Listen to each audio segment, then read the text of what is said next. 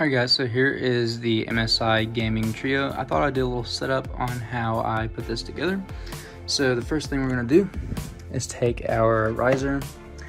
There it is with the 6 pin on the riser, and then that's an 8 pin, and that's the 8 pin that goes to the actual PSU.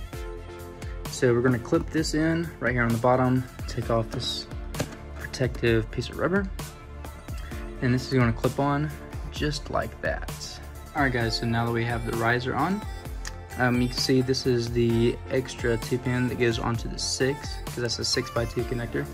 So to go onto the graphics card, you are going to need two eight pin connectors. Well, obviously this one only has one single eight pin. So that's where we have our splitter that comes into effect. You can see this piece right here is going to go on this piece and then these two are going to go into the top of the graphics card. Um, the link to these splitters will be in the description. Alright, so let's get them plugged in. Both of our GPU cards on there. And then we also have it plugged into our splitter, which is running into the bottom of our uh, riser.